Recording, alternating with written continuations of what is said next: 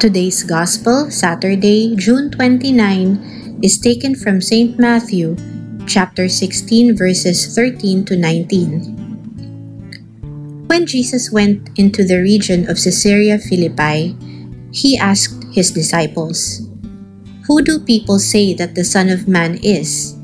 They replied, Some say John the Baptist, others Elijah, still others Jeremiah or one of the prophets.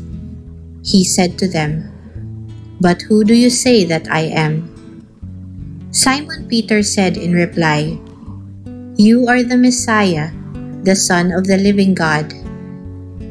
Jesus said to him in reply, Blessed are you, Simon, son of Jonah, for flesh and blood has not revealed this to you, but my heavenly Father.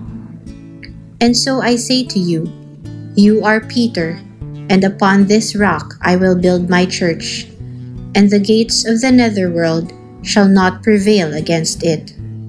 I will give you the keys to the kingdom of heaven. Whatever you bind on earth shall be bound in heaven, and whatever you loose on earth shall be loosed in heaven. The Gospel of the Lord. Today's faith food reflection is from Brother Ariel Agsalud. Chosen Ang pagsisilbi o pamumuno sa isang ministry ay isang napakahalagang tungkulin na maiaalay natin sa Diyos. Ito rin ay isang paraan ng pagpapasalamat sa Diyos para sa mga biyayang ating tinanggap at tinatanggap. Hindi tayo makakapag-serve effectively sa ating ministry kung hindi natin kilala si Jesus at hindi natin naranasan ang kanyang kabutihan. Ibig sabihin, Kagaya ni Peter and the rest of the disciples, sila ay may malalim na relationship kay Jesus na nakapagpabago sa kanilang puso't kalooban. Ang tunay na binago ni Jesus ay nagpapatuloy sa paglilingkod.